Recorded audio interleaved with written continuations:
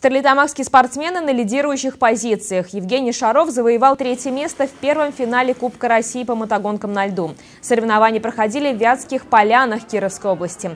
По итогам двух дней спортсмен заработал 22 очка.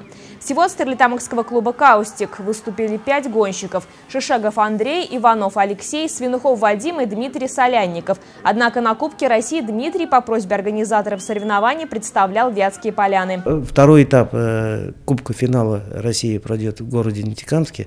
У нас будет участвовать пять человек с нашего команды. Это Андрей Шишегов, Шаров Женя, Соляников Дмитрий.